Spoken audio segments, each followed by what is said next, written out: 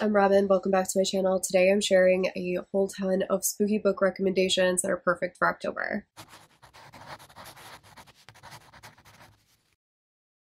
I have 13, I think it's 13 books that I want to talk about, and I kind of broke these up into categories. So I have a couple of YA books, I have a couple of like speculative books, I have a couple that are paranormal, and then some creepy horror thriller books. So I am not I am not the biggest like horror reader by any means. I am scared very very easily. So these are kind of my version of spooky books. If you are a like thriller horror fan, this is this is not going to be the list for you.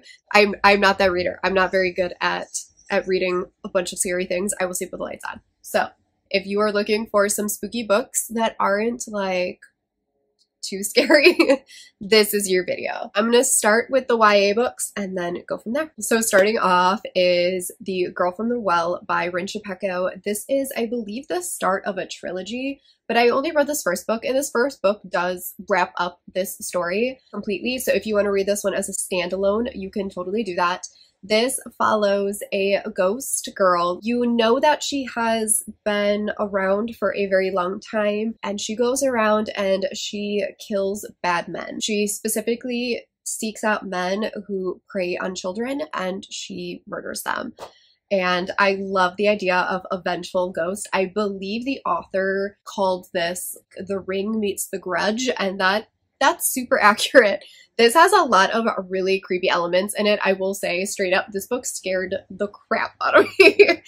the like ghosty haunting elements are terrifying. This is the girl from the ring straight up. She finds herself being drawn toward this boy who is covered in tattoos and she isn't sure why she is drawn to this boy, why she keeps like seeking him out, why she keeps running into him. However, she does discover that there is a man who is trying to abduct this boy and I think his sister. And so their paths kind of get intertwined. And as their paths intertwine, you start learning a lot of secrets about this boy and why she is so drawn to him. There are not only killer ghosts in here, but there are also terrifying dolls. So if you're scared of dolls, either don't pick this one or this is a really good one for Halloween season. I really liked this. This is, I believe, the only Rin Chupeco book that I have read, but I, I really liked this. And like I said, I think there are more books in this, but this story completely wraps up. And then I believe the next book is like following the same characters, but it's kind of like a newer, a new story. So the next one I have is The Mary Shelley Club by Goldy Moldavsky. This is kind of the YA version of a 90s slasher movie and it is so much fun. You are following this girl who, right at the beginning of the book, ends up experiencing a break in at her house. She starts watching horror movies and slasher movies as a way for her to cope by making, like, exposing yourself to all of these scary things. It helps her process her feelings about this break in and what happened to her and her trauma. And um, she kind of becomes obsessed with horror movies and she starts at this new school and while she is there she discovers this secret club known as the mary shelley club and it is this group of seemingly like mismatched kids who are all obsessed with horror and not only are they obsessed with horror, but their club also plays pranks on the students in the school that they want to get revenge on. And she joins this club and she is tasked with playing a prank on somebody and the pranks start to go bad. And this book is chunky, but it is a super fast read. There are so many like clips and stuff of like famous horror and thriller movies and slasher movies. And this is just, it's such a fun read. Next up for YA is To Break a Covenant by Alison Ames. This one, Encounter to this kind of chunkier beast, is really short. This one's only like 300 pages. And this one is also paranormal. You're following this group of girls who befriend the new girl to town and the new girl's father is trying to investigate the supposedly haunted mines and see if the mines are safe. But when these girls, as well as the father, go down into the mines, none of them quite come back the same. And these four girls are trying to figure out how to escape the clutches of the mines. And along the way, they're uncovering all of these like ghosts and creepy elements, and really, really weird stuff starts to happen. And there's an amazing friendship group in here. There are terrifying moments in these mines. If you are claustrophobic or scared of mines or any of that, again, if you love being scared, pick this one up because the moments in the mine are terrifying. Being in these mines in this book was so scary. there are also really good ghost elements in here. Um, and then the ending of this is absolutely fantastic. This is also told in a multimedia format. And so interspliced in between the regular chapters are these little clips from unseen footage from all these like ghost hunter shows about the town and it makes it a really really fun read. And then the last book that I have in the YA category is House of Salt and Sorrows by Erin A. Craig. This is another one that legitimately creeped me out. This book takes place at this like manor right off of the sea and so it has like coastal vibes and it's really dark and dreary. You're following a heroine who is one of 12 daughters and her sisters start dying off. And so you open up with her at a funeral mourning the loss of her latest sister. And the family has kind of been in mourning for an extensive period of time after the loss of their mother and then uh, a couple of the sisters. And so when their father is remarried and the new bride decides that it is time for them to stop mourning, and they are going to get rid of all of the black clothes and the drapes off the windows and they are going to start living their life again. But during that time, some dark, creepy things start to happen. The youngest sister starts to see ghosts. They start attending these parties that are slightly mysterious. This ending killed me. The ending of this book just took me for a ride. It is gets really dark and really creepy. The um, ghosty elements in here are really scary as well. There's something about a little kid seeing a ghost that nobody else can see that is just absolutely terrifying. Next section I have is like speculative horror, and the first one that I have is Bunny by Mona Awad. This is definitely a polarizing book. In fact, all of the books in this category are super polarizing. You are either love it or hate it. I really loved this book. I think I gave it four stars if I'm remembering correctly. I listened to this on audio and I really recommend the audiobook. The narrator does such a good job for the voices, especially since there's kind of like a hive mind aspect to this. And she just, oh, she killed it with bringing the story to life. This story takes place at a university, and you're following a girl who is part of an MFA program and she is in this program with these four other girls called the Bunnies. And she is simultaneously disgusted by them, but also kind of obsessed with the bunnies. And the bunnies seem to have this sort of like unbelievable bond and almost like a hive mind. And as she kind of gets drawn further and further into this group, she becomes one of the bunnies, and you kind of watch all of this creepy stuff unfold. There are if you like hard magic and rules and explanations this isn't this isn't going to work for you. Because this book is totally unexplained. It, you are just kind of following her down this rabbit hole pun intended as she unravels while being part of this creepy group called the bunnies and the ending will leave you totally unsatisfied and totally confused but the ride is so amazing. The next one I have is in a very similar vein to Bunny, and that is Catherine House by Elisabeth Thomas. People are going to hate me for putting this one on a recommendations video because I know people have strong negative feelings about this one.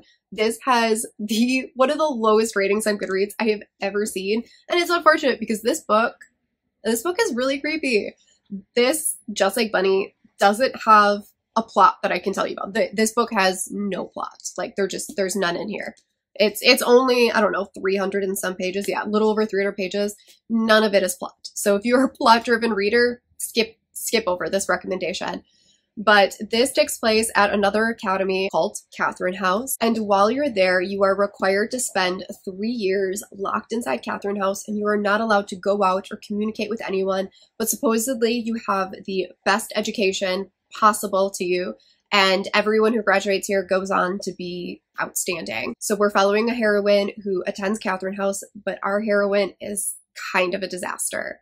She doesn't know why she was accepted to Catherine House. She doesn't really want to be at Catherine House, but you get the impression that she needs to be there, that she's kind of running from something, and she just kind of wants a place to hide out for a while. But while she's at Catherine House, she starts realizing that it might not be everything that it seems. And there might be some more sinister things going on. And this is essentially like reading somebody's description of a fever dream. You have no idea what's going on. Nobody's likable. Nobody really seems to be doing anything for any reason other than they're they're just they're just doing these things. Like there's no there's no reasoning behind their actions. But like as you are reading it, the entire story is so unsettling. You have no idea if anything is real. Why are they doing these things? What's what's really happening?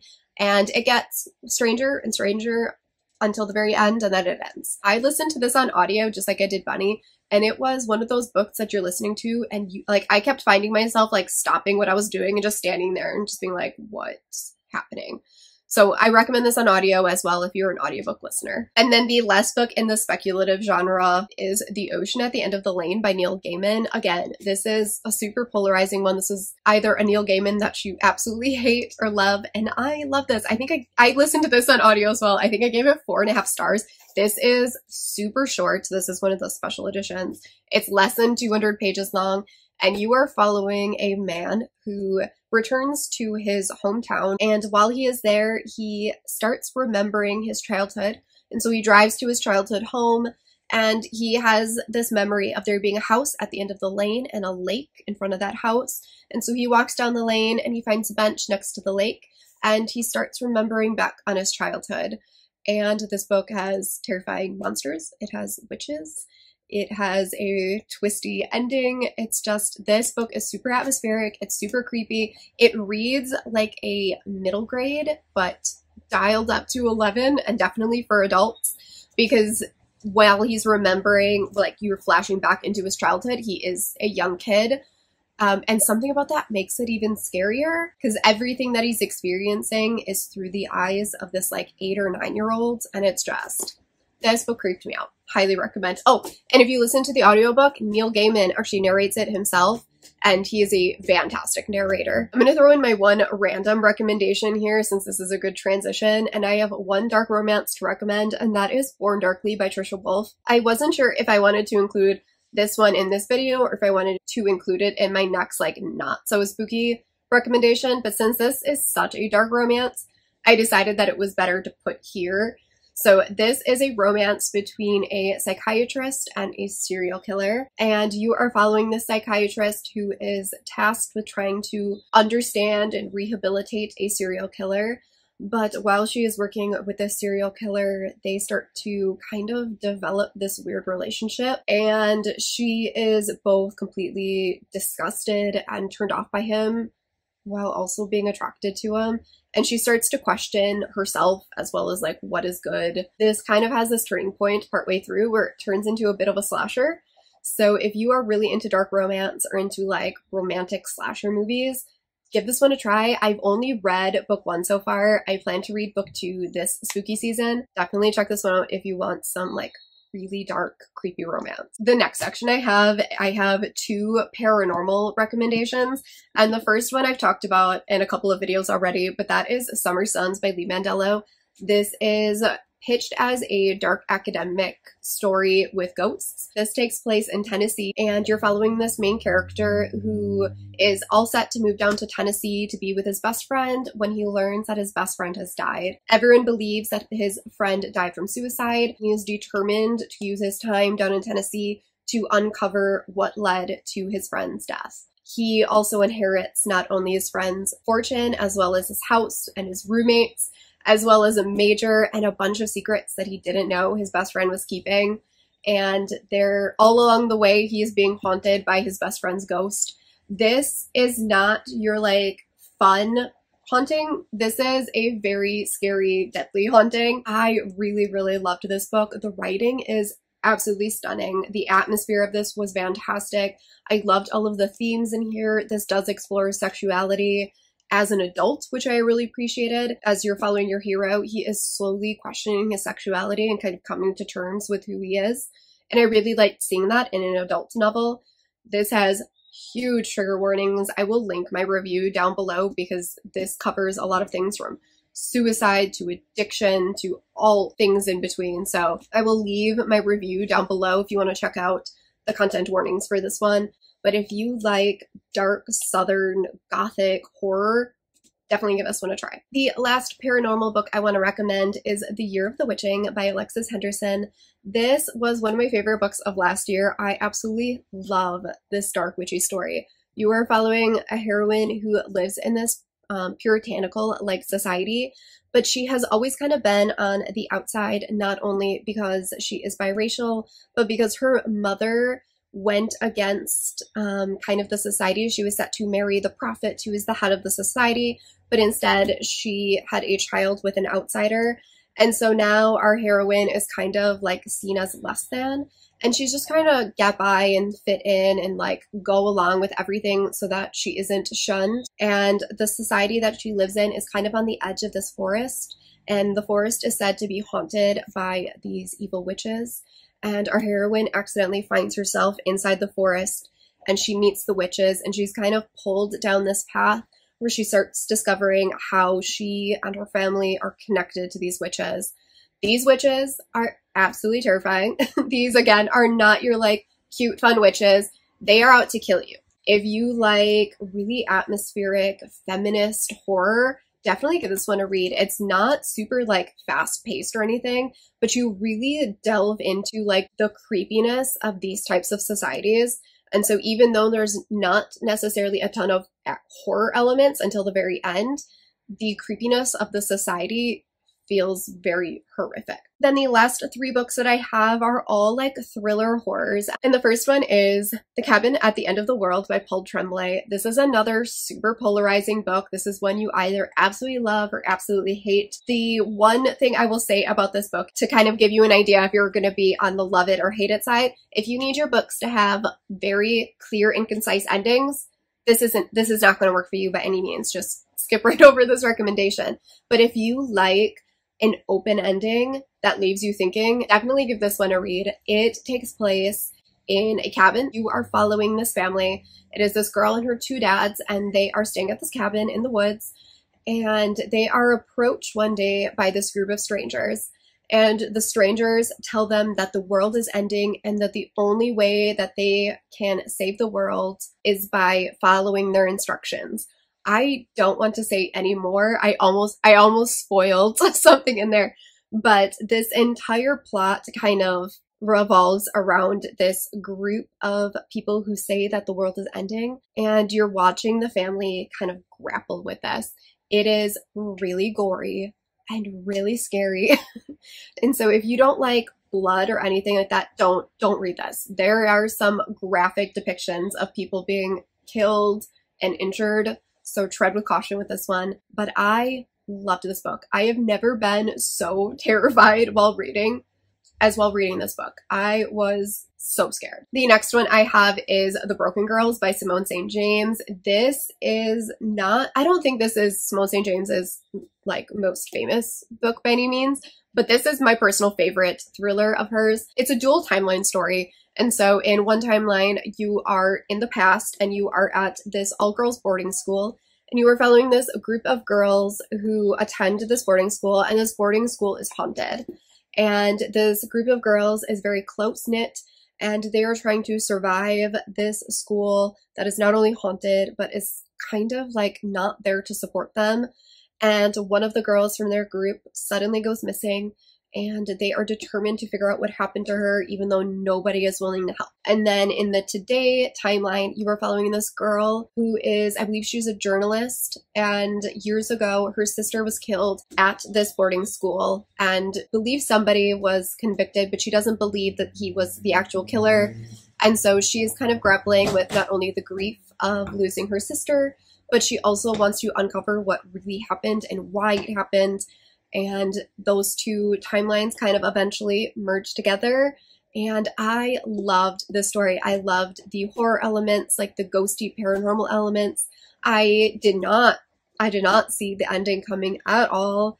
This is a really, really well done mystery. I liked that both sides had their own mystery that eventually came together.